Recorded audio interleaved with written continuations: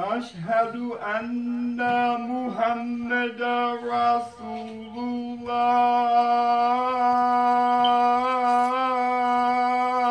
الله أشهد أن محمد رسول الله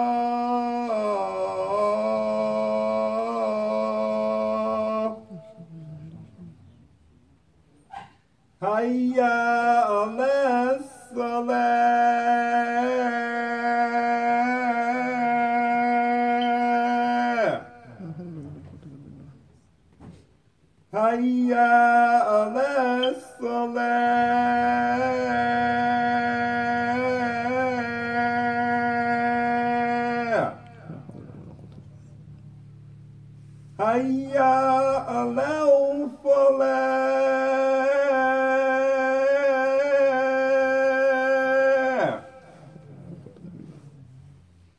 هيا على الفلاح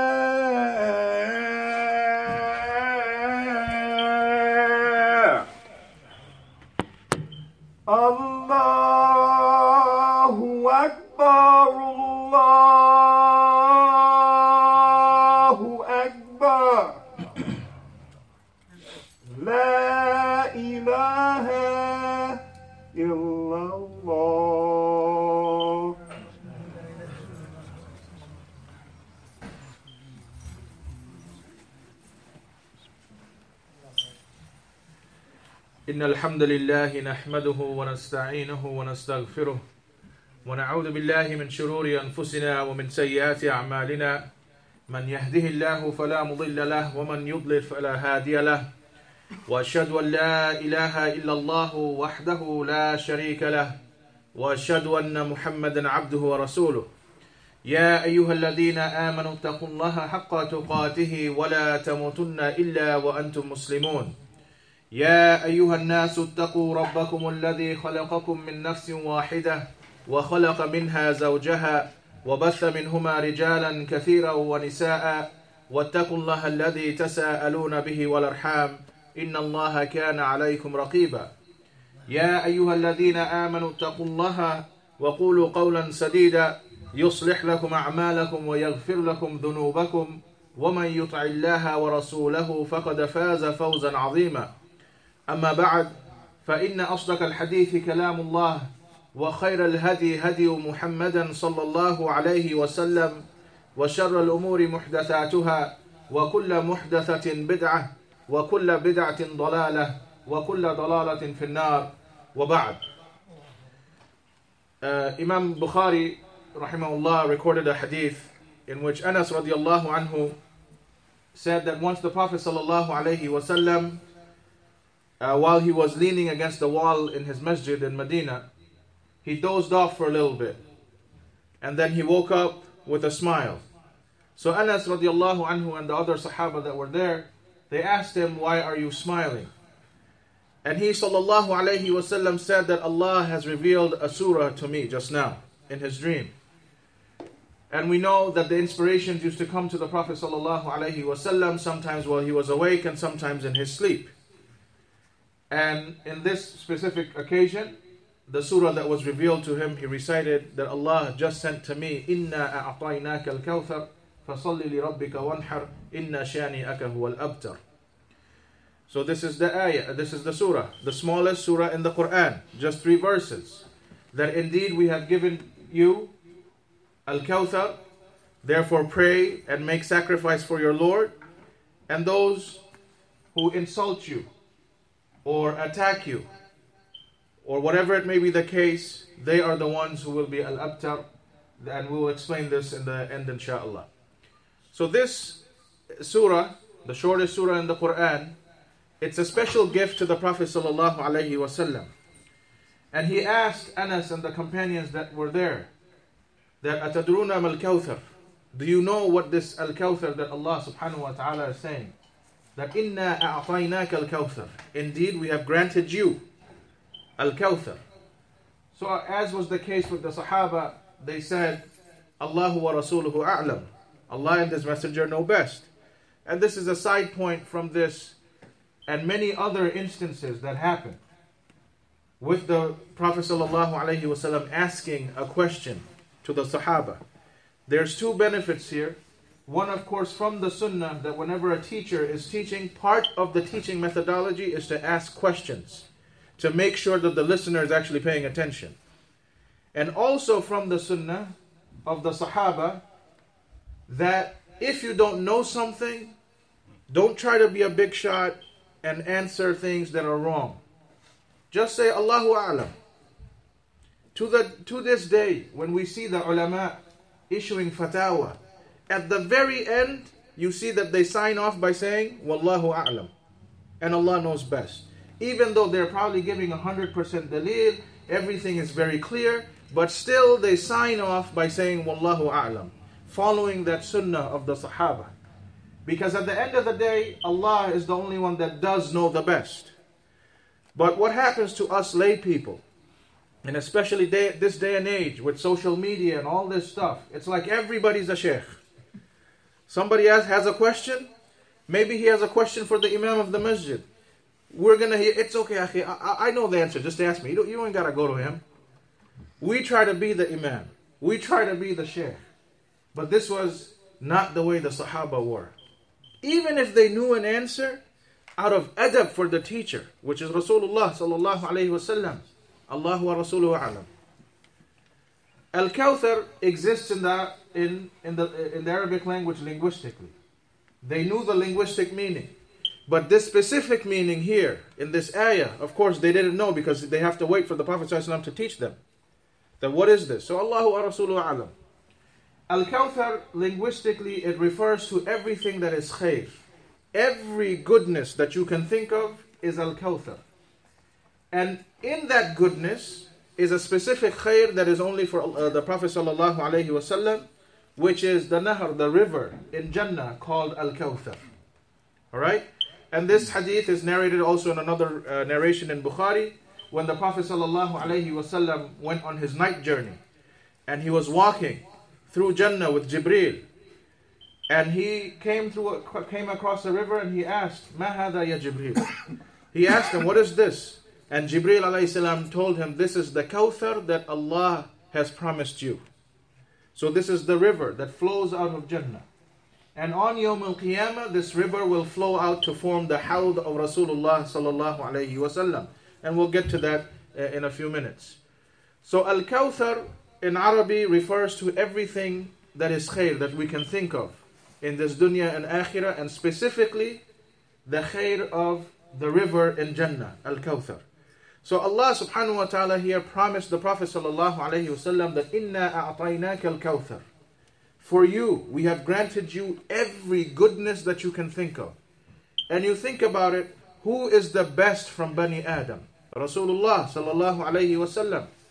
Allah took two prophets as a Khalil, as his intimate friend, the Prophet ﷺ and Ibrahim alayhi salam. And from those two, one of them was given Al Maqam Al Mahmud, the most praiseworthy highest state, which is for Muhammad sallallahu mm-hmm. alayhi wasallam. So Allah kept Al Kawthar for him. Tremendous abundance, the general and the specific, is only for the Prophet sallallahu alayhi wasallam. And as we shall see in a, in a few minutes, that the believers who follow his sunnah will also reap the benefits of that kawthar. So the Prophet ﷺ in other ahadith collected in Sahih Muslim, he described uh, this kawthar, this river. He said that masiratu shahr, that if you were to uh, cross this river, how big it is, it will take you a month journey. Non-stop if you were to travel. Keep traveling non-stop for a month, that's how it would that's how long it would take you to cross the two sides from one side to the other side ma'uhu abyadu min al-laban the water is whiter than milk ahla min al-asl and even sweeter than honey. Whiter than milk sweeter than honey. And the one who drinks from this will never ever get thirsty again. And the kizanuhu kanujumi sama the cups that are around this river are like the stars in the sky. Can any one of us go outside and count the number of stars? We can't. Trillions and trillions of stars. We don't know exactly how many. So, just like that, the cups that are around Al Kawthar are that many, just like the stars in the sky. That's a gift for the mu'minun, for the believers who will follow Muhammad sallallahu alayhi wasallam in this life. They will be able to drink from this water. Something that we can't even imagine. What do we know that's whiter than milk? That color doesn't exist in our mind because we've never seen it. What is there that you can taste that's sweeter than honey? We don't know because we've never tasted it. What drink can you think of that if you drink just one cup, you'll never feel thirsty again? We don't know. These are rewards in the akhirah that's there for the mu'minun. But it's from Allah's rahmah that He gave us these descriptions so we have things to look forward to. As Imam Ibn Qayyim rahimahullah, he said that even if our Rabb didn't tell us about the rewards that we would get, we're still obligated to worship Him because of the fact He is Al Khaliq, the Creator. But because He is a Rahman Ar Rahim, from His mercy, He gave us vivid descriptions of what awaits us if we are able to fulfill La ilaha illallah. And He also gave us descriptions of what happens to those who fall into shirk and die from the mushrikun, as the mushrikun. He gave us descriptions of Jahannam as well.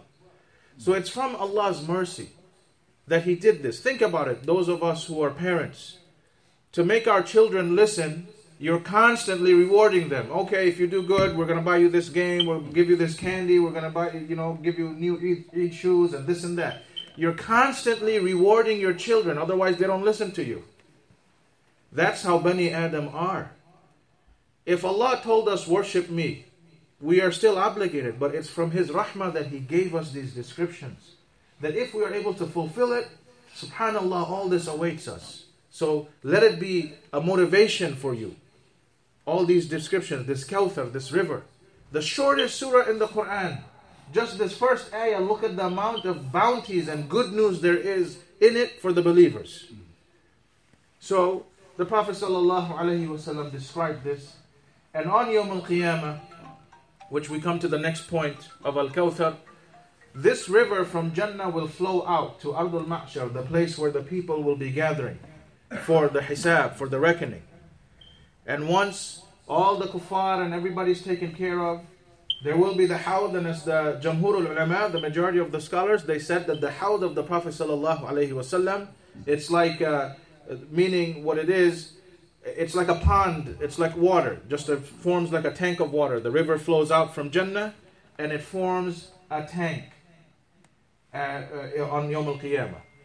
So this comes before the Sirat, which is the bridge that people have to cross and make it into Jannah. That's the last thing that happens.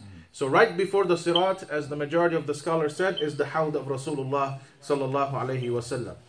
So this is the same, that water, the same. So white, so sweet. You drink, you'll never be thirsty. And the angels are there, as well as the Prophet wasallam. In another narration in Bukhari, he said that I will be the one preceding all of Bani Adam. He'll be waiting there. He'll be waiting there. Think about it. The Prophet ﷺ waiting next to his house, filling the cups of water, and waiting for his followers so he can personally give them this drink. What an honor. You would think it'd be the opposite. We want to serve Rasulullah ﷺ. But this is the gift for those who follow his sunnah properly. He himself ﷺ will wait and fill up the cups and pass it on to the believers to drink. So he'll be the first one. He'll be waiting. And then the believers will come. He will recognize them. As Sahal ibn Sa'ad radiallahu anhu narrated in another hadith, that he will know them. يَعْرِفُهُمْ وَيَعْرِفُونِ He will recognize them and they will recognize me. So the Prophet ﷺ will recognize them. How? They'll have the signs of sujood on their foreheads, the signs of salah on the rest of their bodies. They will look like Muslims. And they will recognize Rasulullah sallallahu alayhi wasallam. So he'll recognize them and they will recognize him. But at that moment, some angels will come and prevent those people from drinking from the hawd of Rasulullah. The, the angels will come and forcefully take those people away. And then the Prophet ﷺ will cry, Ay Rabbi Ashabi, O Lord, these are my companions. And in another narration, Ummati, this is my nation. And in another, na- in another narration, that innahum minni, they are from me. Look at these three different riwayas to give you more emphasis of how much the Prophet ﷺ will be pleading with Allah. What's going on? They look like Muslims. I recognize them, they recognize me. Yet the angels of adhab are pulling them away by force. And he pleads to Allah, they are from me, they are my nation, they are my companions. And then Allah subhanahu wa ta'ala will reply, reply to him, sallallahu alayhi wasallam, that you don't know how much they changed after you.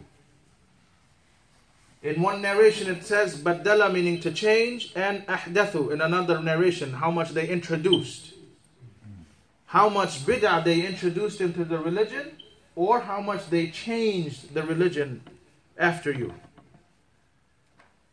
So then the Prophet ﷺ would say, Suhkan suhkan liman baddala ba'di. Far removed, far removed for those who changed after me. They're following a deen that I did not leave behind.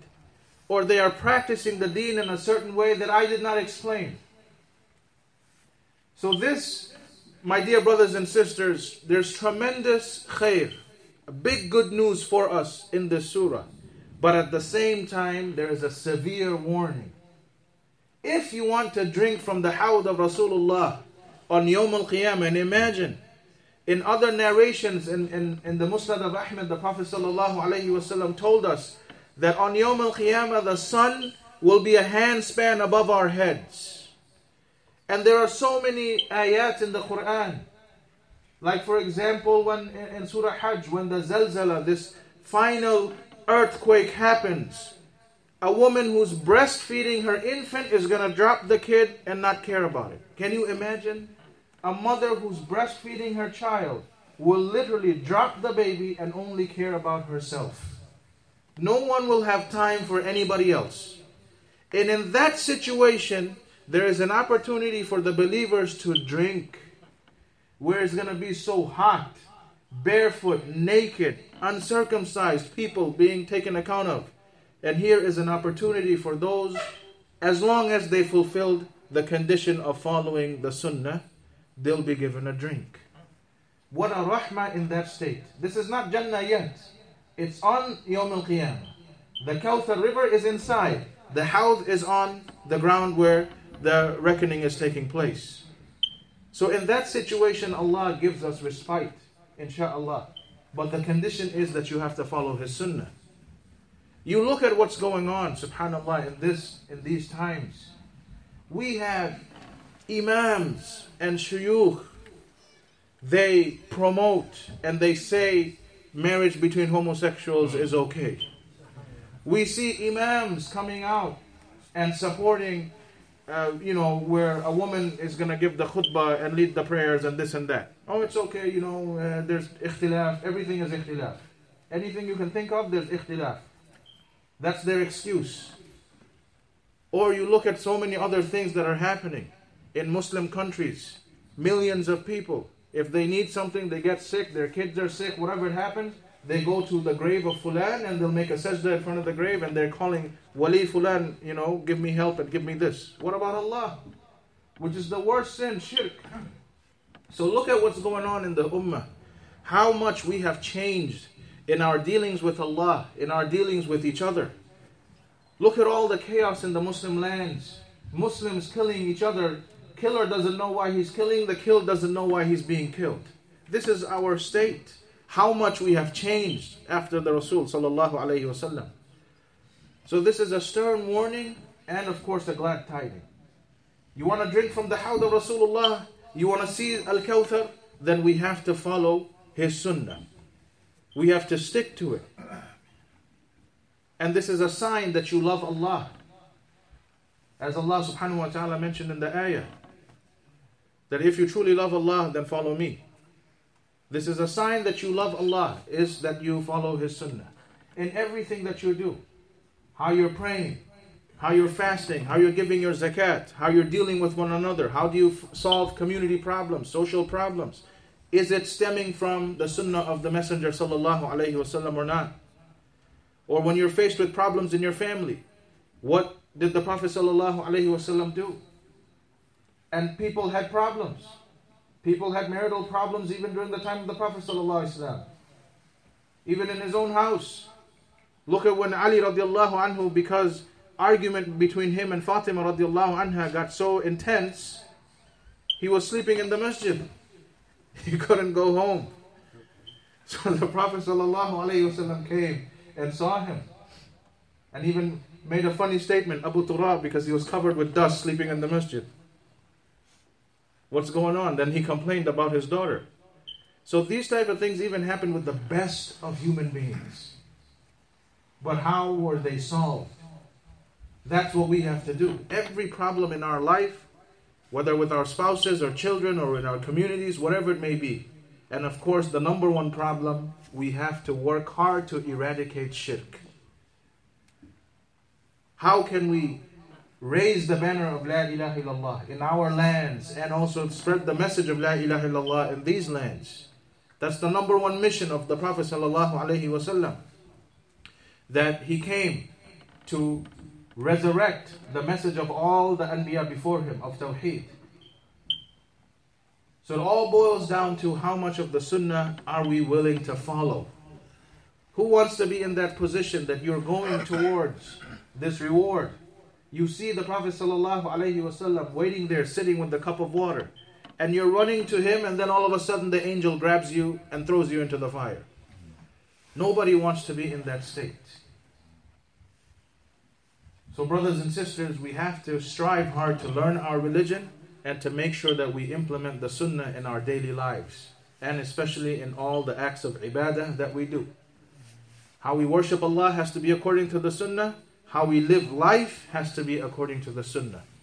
And unfortunately, in many parts, in many uh, Muslim nations, because people are unaware of the language, like even in, uh, let's say, you know, in the Indo-Pak subcontinent, where my fam- family's from.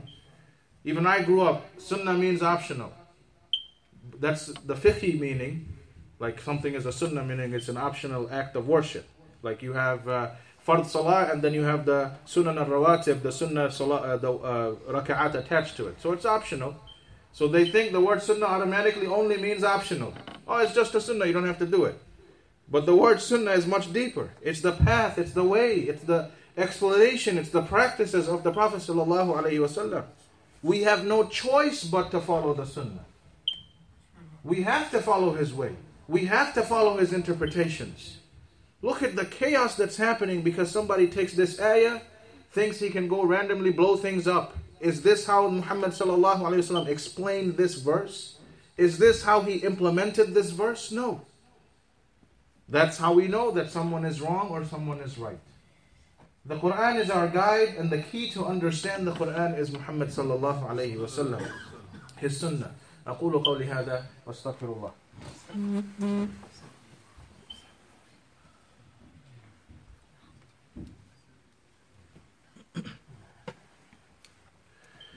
بسم الله والحمد لله والصلاة والسلام على رسول الله وعلى آله وصحبه أجمعين So then the next two verses, Allah subhanahu wa ta'ala says, فَصَلِّ لِرَبِّكَ وَانْحَرْ So sacrifice, uh, so pray and then make sacrifices for your Lord. As Ibn Abbas radiallahu anhu said that this has two meanings, of course. One is the literal meaning referring to uh, the Eid al-Adha, you pray first and then you make your sacrifice. And then of course the other meaning that's contained in this that whenever you're praying or making any types of sacrifices, it has to be for your Lord alone, meaning the message of Tawheed. فَصَلِّ لِرَبِّكَ وَانْحَرْ It's only for your Lord. Any act of ibadah that you do, it has to be for the sake of Allah and Allah alone. It's not to look good in front of your family or in front of your community. That's why you're showing up for Jum'ah, because people are going to talk about you, or you're praying on time because people are going to talk about you, or whatever may be the case. You only do the acts of worship to earn the reward of Allah subhanahu wa ta'ala. You do it out of His love. You do it out of fear of His punishment and you do it out of hope in His mercy. That's why you do all the acts of worship. And then the last verse, Inna shani aka al-abtar. It was the way of Jahiliyyah that whoever used to have daughters, they would label him as abtar, meaning cut off. And we know that the Prophet ﷺ, his daughters grew up, got married, but his sons, Ibrahim and Qasim, they died when they were infants. So the Quraysh used to mock him that he's al-abtar, he's cut off. His lineage has been cut off. Because this was the tradition from Jahiliyyah, that the son would grow up and carry on the legacy of the father. Alright? So because he had no grown sons, the Quraysh, the pagans would make fun of him, that he is al-abtar. So Allah subhanahu wa ta'ala re- replies that inna shani aka huwa al-abtar. They're calling you abtar, but these are the people, these mushrikun are the ones who are abtar. They will be cut off. Cut off from what? From the rahmah of Allah subhanahu wa ta'ala. Look at all those people that used to make fun of the Prophet sallallahu alaihi wasallam just because he didn't have grown sons. Every word of the Prophet sallallahu alaihi wasallam, his actions, to the point that how he used to even use the hammam is recorded. There is not a single human being in the history of mankind that whose life has been recorded in such details like Muhammad sallallahu alaihi wasallam. He is the praised one. His legacy will last on, in this world until Yawm al-Qiyamah. So where are those people that used to call him Abtar? They're gone. Abu Jahl, Abu Lahab, where are they? We know Allah told us. They're going to be an eternal fire. So they used to, Abu Bakr and Umar and Uthman and Ali and all these other companions, radiallahu anhum ajma'in, how did they react? They didn't go around acting like hooligans when the Prophet ﷺ was attacked. Look at Khalid ibn Walid. He came and broke the tooth of the Prophet ﷺ in the Battle of Uhud. But then Allah guided him to be from the best Muslims ever. So it depended on the reactions, their patience, and even the worst of people. Abu Sufyan, Khalid ibn Walid, they took years, but then they became the best of Muslims. How do we react today? Allah already promised that those who mock the Prophet, they are the ones who are abtar. He already told us this in the Quran, in this ayah. So we should have more patience in how we react in the name of defending our Prophet. And that's it's a contradiction.